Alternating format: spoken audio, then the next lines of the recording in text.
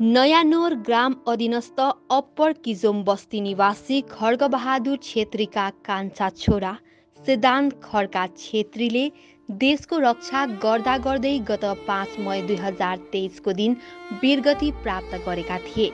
उनको अन्त्येष्टि कार्य आगामी सोह्र मई दुई हजार तेइस मङ्गलबारको दिन नयाँ नोर ग्राम अधीनस्थ निजी निवास अप्पर किजोम बस्ती चर्च लाइनमा हुने भएकाले सम्पूर्ण आफन्त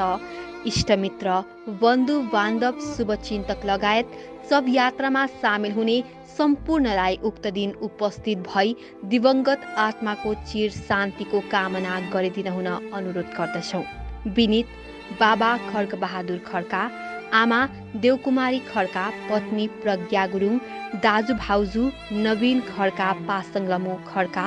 दिदी विनाजु चन्द्रकला खड्का विक्रम थापा एवं सम्पूर्ण शोकाकुल खड्का परिवार।